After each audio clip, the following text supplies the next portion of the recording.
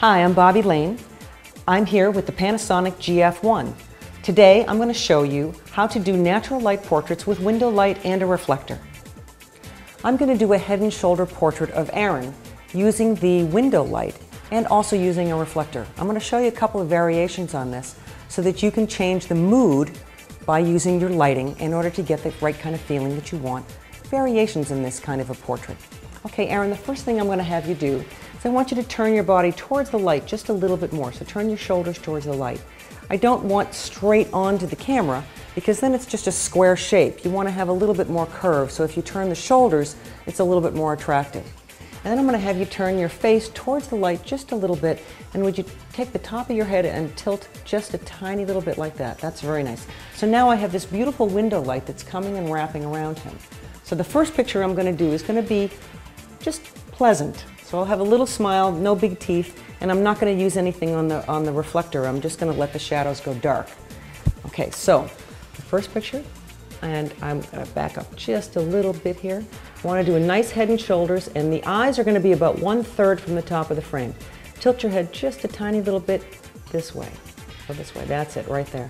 All right, I'd like you to take a deep breath and relax, and a little smile with no teeth. Here we go. That's lovely. Okay, let me take a look at that and make sure that everything is okay. That looks really good. Okay.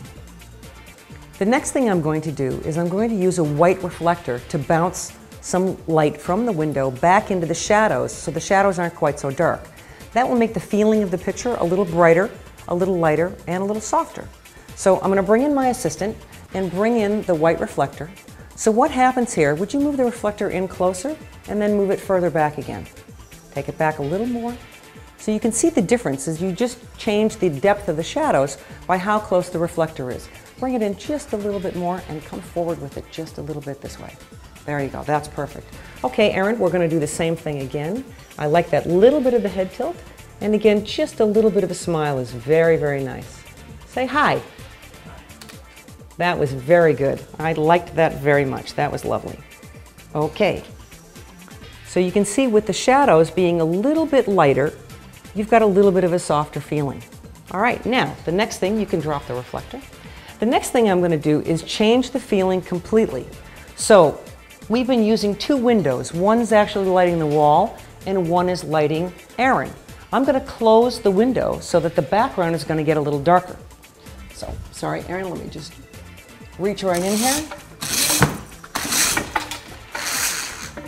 What happens now is that the background has gotten darker, so there's not as much light.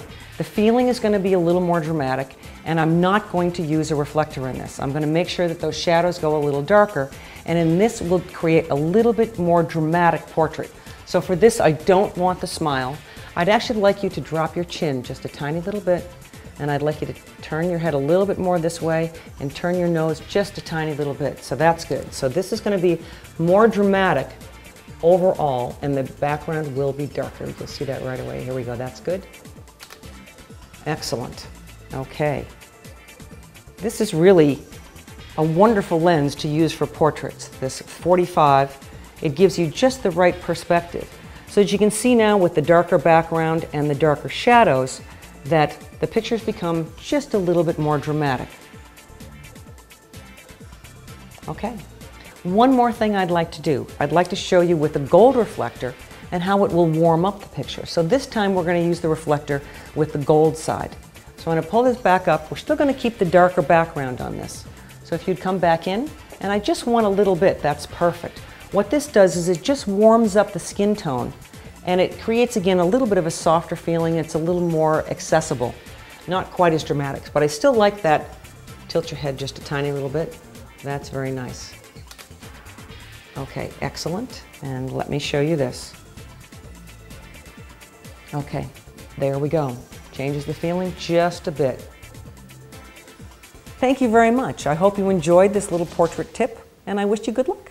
Happy shooting.